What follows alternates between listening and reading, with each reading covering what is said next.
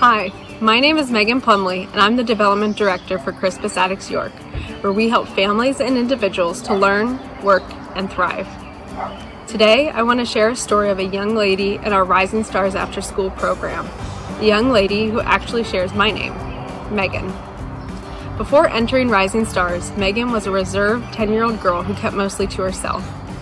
She had a passion for cheerleading, but struggled to control her anger, which resulted in her either being kicked out of or quitting the dance and cheer teams that she loved. As part of our Rising Stars program, we offer educational and recreational activities, including a competitive cheerleading program. Our cheer coach, Mrs. Frog, saw Megan's passion and potential and invited her to join the team. Megan was a hard worker, but she continued to experience challenges with her anger she would lash out with hurtful comments when frustrated with her ability to learn the routines. Instead of removing her from the team, as others had done, Mrs. Frog knew some one on one mentoring was needed. She sat Megan down, asked what was going on, and waited.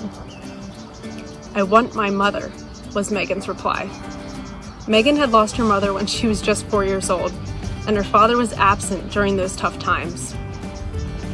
It just so happened that Mrs. Frog actually had known and mentored Megan's mother in the past. She was able to share stories of Megan's mother as a hardworking and dedicated team captain for Crispus Attucks York's girls step team. As you can imagine, Megan loved hearing stories of her mother. She wanted to be a good teammate and leader, just like her mom. Mrs. Frog encouraged Megan to stay involved with the team practices and to monitor how she spoke with others. The entire team came together to hug and support Megan on her down days, and they gave her space and time to regain her emotions at practices. And she started to change her behavior. Megan now uses cheer to channel her emotions in a positive way. She's learning to open up and talk to others about what she's going through, and she knows she has the team to encourage her. Because of United Way, Crispus Attucks York is able to provide youth like Megan with the support to heal, grow, and ultimately to thrive. Please join me in supporting the United Way Impact Fund. I give because I see firsthand how United Way is impacting lives like Megan's.